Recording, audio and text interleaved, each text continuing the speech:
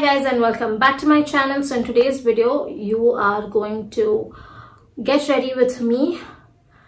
Um i'm just going to put on some makeup after a very long time. The other day i was just telling deepak how um i've started liking the process of putting on makeup again. So lately whenever i'm going out with deepak or even for my doctor's appointment i make sure to look nice and put on some uh, makeup. But uh, yeah bangalore is really cold.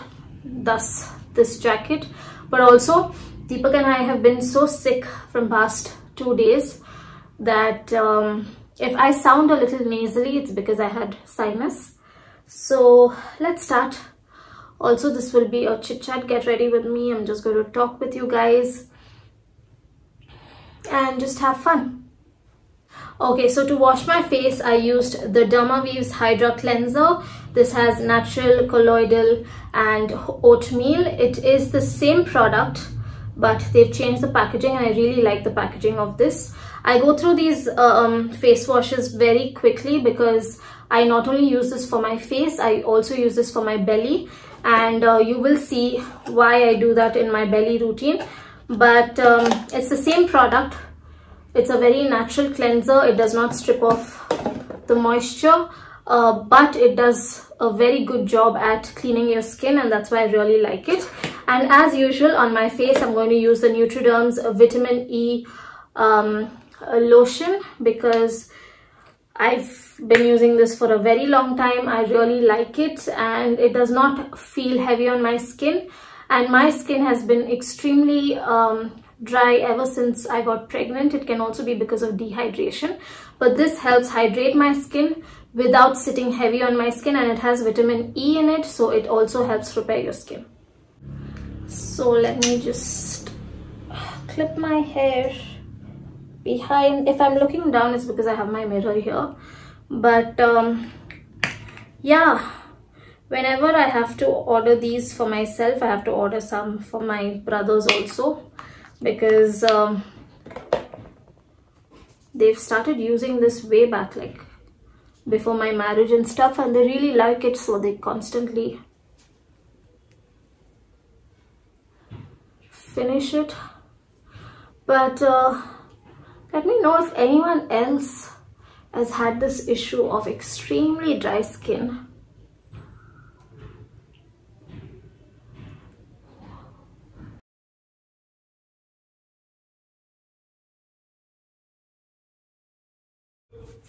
I'm just going to let this sit on my skin for some time. Next, for my neck and the chest area, I'm using this Dermavive's Moisturizing Lotion um, for dry skin condition. It has sativa seed powder in it.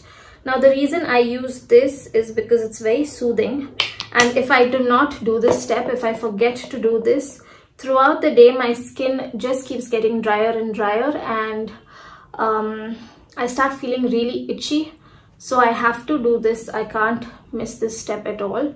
And it really helps soothe my skin. So I make sure to always apply this. Obviously uh, on camera I'm just doing it on my neck and chest but generally I apply it everywhere else because as your belly is stretching your breast is also stretching. And uh, it's important to moisturize that area as well because you don't want to get stretch marks. And more than stretch marks it's just this very irritating um, itchiness that doesn't go away. So that's why I make sure to do this. And this soaks into your skin so easily that whatever you wear after this you know it doesn't transfer to your clothes. And that's why I like using this in the other areas okay so let's move on to the video. Um, the other day I went home and got all of my makeup and came but um, I would say 80% of my things are still in my brother's house and I think they like it that way because it makes them feel like I'm still at home and I haven't just left home and gone and um, I've also left it like that. Now whatever products I use will be mentioned in the description box so you don't have to um, worry about finding it but uh, now I'm just going to use some primer on my T-zone I feel like pregnancy skin is just the most weirdest type because on some days you wake up and your skin feels extremely oily and some days you wake up and it feels so dry. It's just so confusing and that's why I like using products that I know work well for dry or oily skin. Anyways, now coming back to the topic. Not coming back, I think I'm starting the topic right now. I'm sorry, pregnancy brain. But the other day I was watching a reel about, you know, it was one of those inspirational reels where this girl talks about dealing with things all alone because you feel like um, you know you have an image to um, maintain to people. And when I was watching that I swear I felt like she was just talking about me because it was so relatable. So what had happened is I was just diagnosed with endometriosis that time. And um, endometriosis was a very very new um, chronic illness for me. I had never heard of it before. I had never um, met anyone who went through it. I never knew anyone who was who was aware of it also. So when um, this happened to me, it happened to me when I was 25. When, you know, at 25 you are just at your peak. I don't know, I feel like 25 is that age everyone wants to be at. So you're at that age and for me, I felt like my world came crashing down because I just did not understand why it had happened to me, why I was going through it, or, you know, even before I could realize what endometriosis is, seeing the look on my family doctor's face um, was more than enough to let me know that there's something really wrong. And forever, now i've always known to have a very strong personality. People see me as someone who's very strong headed and um, you know who can deal with things because i have dealt with things that normally people don't deal with like losing my mother and stuff like that. So i've always had to maintain that image of being extremely strong so when this happened, as much as, as I was devastated, I don't think I let people really see what I was actually going through in terms of my mental health because again I was like oh you know I can't I just cannot show that weak side you know because that's the image I carry. I carry the image of um, being extremely physically and mentally strong because physically because I, I have like really high pain tolerance and mentally because that's how it is. So I remember it it almost took me a year to even accept um, the diagnosis. Uh, to even accept that I had something that is chronic something that cannot be cured and something that probably won't go away. And Added to this was another fact that I was constantly reminded of the fact that I wouldn't be able to conceive. And that for me was one of the most painful um, experiences because I don't know, for as long as I can remember, I've always wanted to be a mother. That's, that is who I feel like I am, right? Uh, to be a mother. I've had my uh, kids names picked up from years for god knows how many years. And um, and to constantly keep hearing people say um, that you know oh you might not be able to have kids or you have a very low chance. I was given less than 7% chance of conceiving. That is even if i tried IVF and all these fertility treatments. And it would be really sad because whenever I shared to someone about endometriosis or about the pain I was going through, they would not be really concerned about the pain, but they would always be like, oh, so does that mean you can't have a child?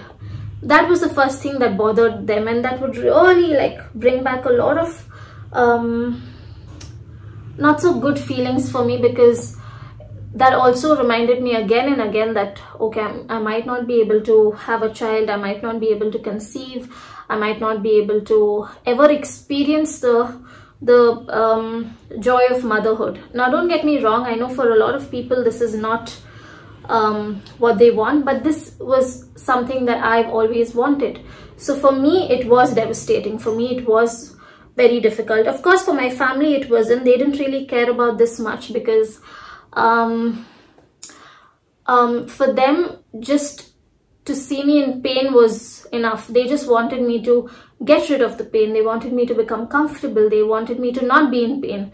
And that's the only thing my brothers focused on. They really didn't care about me not being able to conceive or me not being able to bear a child or will she get married because you know that's a big big block when it comes to getting married and uh, they weren't concerned. I was um, and um, to my surprise a lot of people around me were. And this really affected my mental health.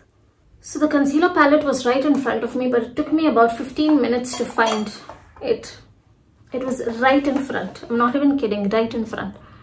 Yeah so where was i so that really pulled me down mentally. I was just not doing well mentally at all. Like physically i was already extremely low. But mentally i was in a very dark place because i would every time i open instagram i would see girls enjoying and going on trips and having fun and having you know the time of their life. And i was there on bed unable to move or even turn uh, something as simple as peeing had become so difficult for me. Something as simple as getting up and taking a walk had become so difficult for me. I almost felt very very dependent on um, my family. As much as i was able to share it online i don't think i was ever strong enough to share um, all the dark thoughts that I was experiencing at that moment. And um, so that went on for about a year because it took me a year to accept the fact that my body had done something or gone against me in a manner that I just did not understand. My gosh, the amount of concealer that I've been needing nowadays because of all the sleepless nights and all the stress is crazy. So yeah it went on for a year almost and then um, I slowly uh, started accepting it. I, I don't think I still fully have accepted the fact that you know something like that had happened but um, as the pain got better as I tried alternative medicine and that is when I say alternative medicine I mean homeopathy um, it really helped me um, mentally also because the minute so when when this happened when i was in so much pain i had lost trust in myself. And when i say i lost trust in myself what i mean is i could not be trusted to be left alone. I've had flare-ups when i'm alone and i've needed someone and you know I've been in pain and all of that. So that way I kind of lost trust in myself because I wasn't um, capable of even going out on my own. I wouldn't step out of the house on my own because I always had it in me that if something happened while I'm out if I'm in pain what would I do? I wouldn't have anyone. So you know I couldn't just depend on myself. And as I was able to manage the symptoms I became more um, free and I, I became more um, trusting of myself again. But throughout this time of healing process and of learning to do something on my own all over again uh, one thing that was constant was me crying alone at nights.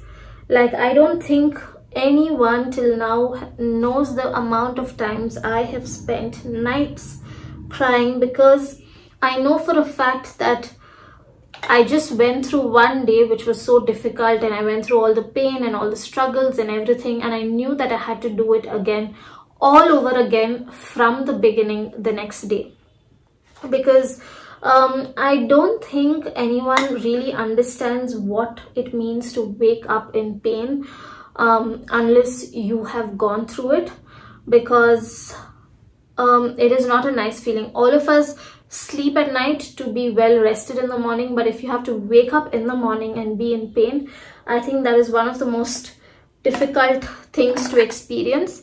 And for me that was my life for almost two to three years where i would just wake up in pain constantly and i would be in pain constantly. So um, almost for so many nights i have cried alone.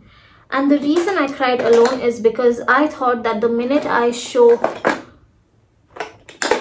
my weakness outside or I show the fact that this is bothering me, I become weak. I look weak. And that was something that I was just not ready to show or even accept in front of anyone or, um, you know, accept even to myself that I was actually feeling very weak and vulnerable and I could not handle it or I could not take it anymore but I was so stubborn, my ego was so big that I was not ready to let anyone uh, see that side of me. Now, of course, in my head, I thought that nobody had an idea of me having these breakdowns, but recently, when my brother and I had a talk, uh, he told me about all the times they knew I was having a an emotional breakdown in the room or I was crying, but they wouldn't talk to me about it because they knew that I wasn't ready to talk about it and that was really surprising for me because in my head I thought I was really good at hiding those feelings but clearly I did not. I also had another problem was that if I was struggling through the night, if I had pain through the night, like unbearable pain through the night, I wouldn't wake anyone up. I would just go through it all alone at night until someone in the morning wakes up and then realizes that she's actually struggling. Like that is how stubborn i was when came to showing my weak sides. I just never wanted to show that side because i never ever wanted to look weak or look like i could not do it or i could not handle something on my own. But now as an adult now as a 30 year old woman who is expecting her first child over the years things have changed. And when i say over the years i would say maybe when deepak came into my life because um deepak is a very um deepak is a guy who's very very in touch with his emotions. He does not shy away from his emotions. He does not uh, mask his emotions. He is very good at expressing his emotions.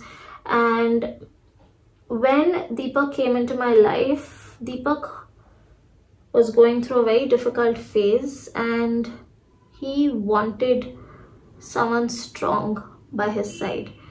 And fortunately for me now when i think of it i was that person. And um, seeing deepak um, be so strong even while he was at his um, weakest emotionally made me realize that there is power in being vulnerable and there is power in being weak at times too because what are we trying to prove by constantly um, looking strong? Because with the right people around you uh, you can still be weak and still have strength while doing that. Like now you have you guys have no idea. My first trimester was so difficult for me but the amount of crying that I did to my husband throughout this pregnancy is so ridiculous because few years back I would have never ever been able to do that. Cry to someone ask them that you know i like now i can literally look at my husband and be like i'm really sad like i need you. Can you come and you know sit with me for some time um, i'm able to do that because i've learned that there is nothing wrong in being weak at times. At least to your people to people who love you. You don't have to be weak. You don't have to show that weak side to everyone but at least to the people who love you who really genuinely care for you i think you it it's not wrong um, to show that side because i remember even throughout my endometriosis the only person i would cry to and that was if i've just not been able to control my emotions was my third brother. He was the only one who could bring out that side in me where i would start you know crying and being weak in front of him. But otherwise i would not no matter what. Sometimes i would be with my friends and go through a pain level of maybe 9 or 10 and i would still not show it out. I was that stubborn. I was that um scared of showing out emotions. So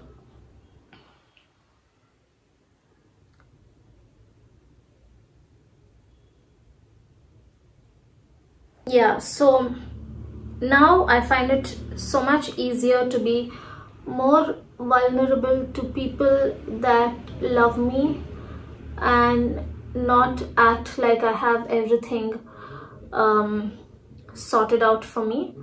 Because I've also realized that sometimes we all need someone. And of course I'm speaking on the lines of illness and all of that but if you are going through something you know difficult and you think that showing that weak side would make you look uh, like you don't have it together or you need someone constantly then please please change that um, that thought process because we all need someone. We all need um, someone to be there for us. Like now you have no idea. I, I trouble Deepak. I mean of course I call it trouble. He doesn't. He's always there for me. Um, no matter what I trouble Deepak so much sometimes and I'm like I need you. Can you please come here?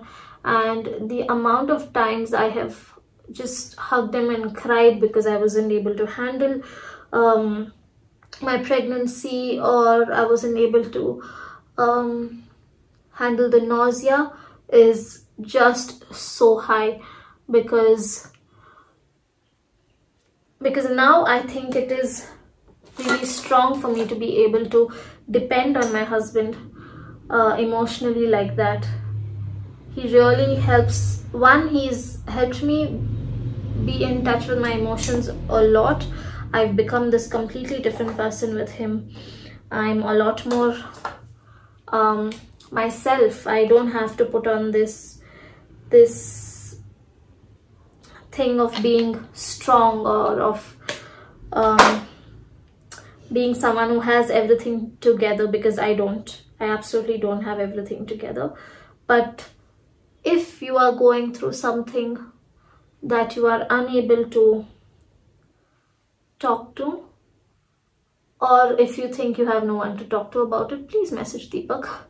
Deepak has been literally talking to so many of my subscribers lately because he's able to. I'm not at the moment I'm not able to. Like even if I have to talk continuously I get really um my shortness of breath is too much so even if I'm not there you can always call or message Deepak. Deepak is always there. He always responds to everyone.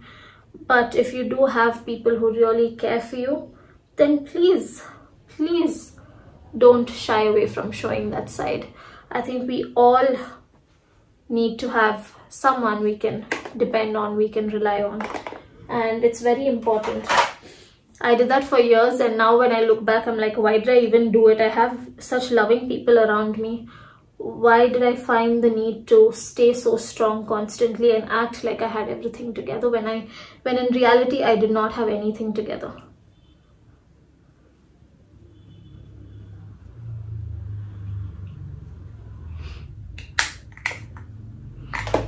I think my the minute I walk out, my husband's going to be in shock because he's never seen me with bright eyeshadows ever, like ever. Oh, mm, mm, mm, I'm so lost with what I have and what I don't have because it's been a while since I used makeup, proper makeup, makeup.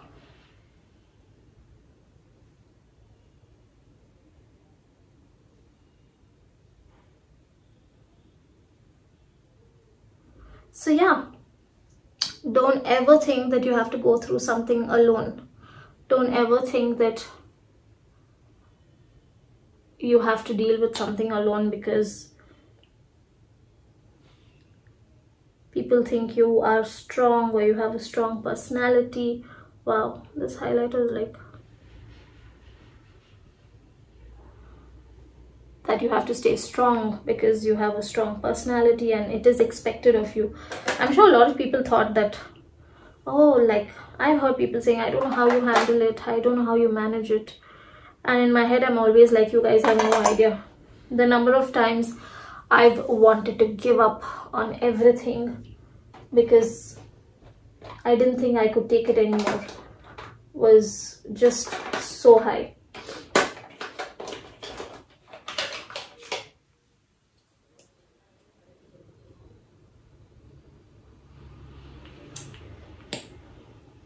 Okay let me just put my eyeliner and be back so yeah that's what i wanted to actually talk to you guys because i know for a fact that there are many people out there who think that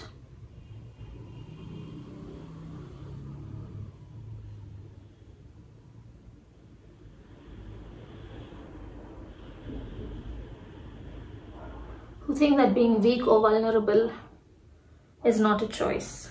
It is definitely a choice. I'm not saying you have to be weak or vulnerable in front of everyone, but at least to the people who genuinely care and love for you, I think you can definitely be yourself. And that way it brings down so much of baggage or so much of heaviness that you are carrying in your heart because of any issue.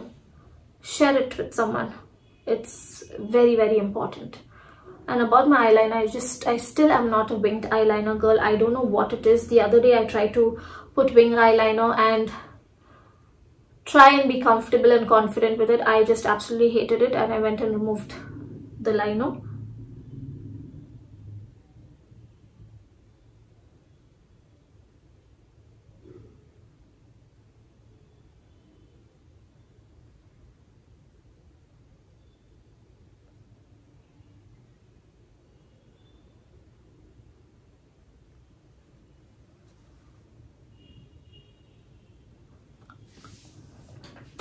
I don't know if I should go a little more lighter with my lip or if this is fine. I'm guessing this is fine. You guys can let me know. I've actually stopped using um, setting spray because I don't know, just the fact that I'm going to inhale it now during pregnancy doesn't seem right. Uh, I know about lipstick also a lot of people have said that you know you're going to um, swallow it and stuff like that. I don't usually have the habit of licking my lips, so I don't see that as a problem. But um, I'm in my last trimester and I'm trying to enjoy it and trying to be confident. So that's about it. I'm just enjoying it. Um, I hope you took something from this video. This wasn't like a makeup tutorial or anything. I just wanted to talk to you guys about this. But uh, yeah i hope you got something out of this. And um, if you did then please like and subscribe. And like i said if you are going through something that you cannot talk about to anyone deepak's dms are always open.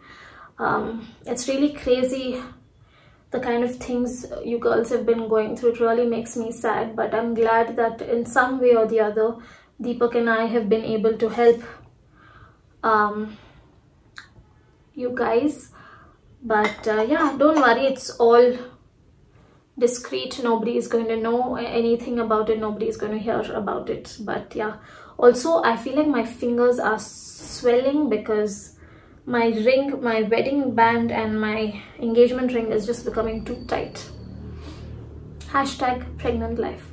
I will meet you guys in my next video. Also yeah um i am doing vlogmas this year and i think it will be better than every other year because deepak is going to help me with it and he's really excited and i'm excited too. We've planned a lot of things and um, yeah so stay tuned for that and i will meet you guys in my next video. Until then bye